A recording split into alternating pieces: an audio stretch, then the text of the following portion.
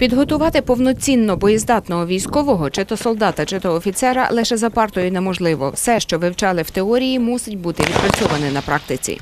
Увага! Вогонь! Для цього військові і мають навчальні центри або ж полігони, на яких під час навчань і зборів відпрацьовують у польових умовах, наближених до реальних бойових, нюанси тактичної підготовки, розвідки вогневої підготовки.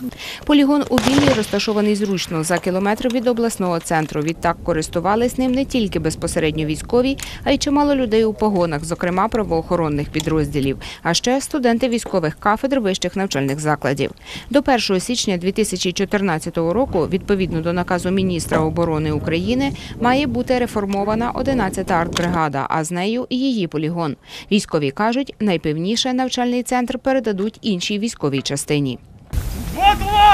Гармата увага!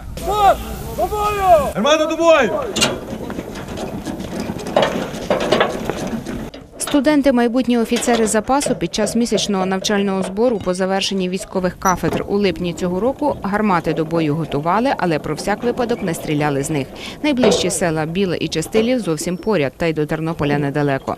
Однак артилерійські снаряди та інші боєприпаси в артскладах є. Скільки саме військові не кажуть. Таємниця відомо лише, що в червні 2004 року, коли після першого вибуху складів у Новобогданівці провінційній вісті з дозволу Міністерства оборони знімали зовні склади боєприпасів 11-ї артбригади, військові казали нам, що боєприпасів у складах Тернопільської артилерійської бригади було тоді близько 20 вагонів, тоді як у складах під Новобогданівкою майже 5 тисяч.